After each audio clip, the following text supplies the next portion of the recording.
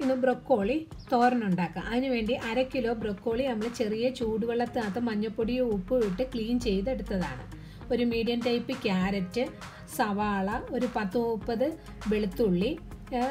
ചെറിയ വെളുത്തുള്ളി ആയതുകൊണ്ടാണ് ഞാൻ പത്ത് മുപ്പത് എണ്ണം എടുത്തത്. എന്നിട്ട് പച്ചമുളകും.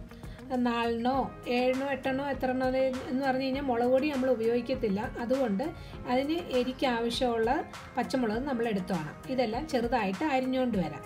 ഞാൻ അത് ചെറുതായിട്ട് അരിഞ്ഞുകൊണ്ട് വന്നിട്ടുണ്ട്. പാത്രം അടുപ്പത്ത് വെച്ച് തീ എത്തിച്ചിട്ട് ഒരു ടേബിൾ സ്പൂൺ എണ്ണ. ഏതെണ്ണ വേണമെങ്കിലും ഉപയോഗിക്കാം. രണ്ട് ടേബിൾ സ്പൂൺ വേണമെങ്കിലും ഉപയോഗിക്കാം. കടുവ് വറക്കുന്നതിന് വേണ്ടിയാണ് ഒരു ടേബിൾ സ്പൂൺ കടുക് ഇട്ട് കടുക് പൊട്ടി കഴിയുമ്പോൾ വെളുത്തുള്ളിയും പച്ചമുളകും കറിവേപ്പിലയും. അത് ചെറുതായിട്ടൊന്ന് വാടിയാൽ മതി. മുരിയണ്ട. സവാളയും ഇട്ട് സവാളയും ചെറുതായിട്ടൊന്ന് വാടി കഴിയുമ്പം ക്യാരറ്റും ഇടണം. ക്യാരറ്റ് ഇട്ടിട്ട് അതിന് ആവശ്യമുള്ള ഉപ്പ്. ഒരു ചിലർക്ക് കൂടുതൽ ഉപ്പ് വേണം ചിലർക്ക് കുറച്ച് ഉപ്പ് മതിയല്ലോ.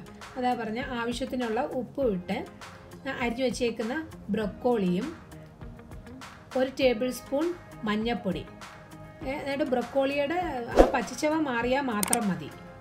അതിലേക്ക് ഒരു ബ്രൊക്കോളിയുടെ പച്ചച്ചവ മാറിക്കഴിയുമ്പം ഒരു കപ്പ് തേങ്ങ.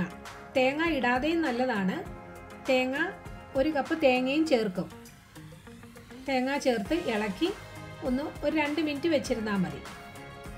ബ്രൊക്കോളി തോരൻ നണ്ട റെഡി ആയിട്ടുണ്ട്. എല്ലാവരും ചെയ്തു നോക്കണം. ഇഷ്ടപ്പെടും.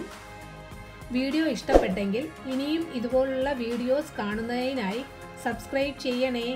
താങ്ക്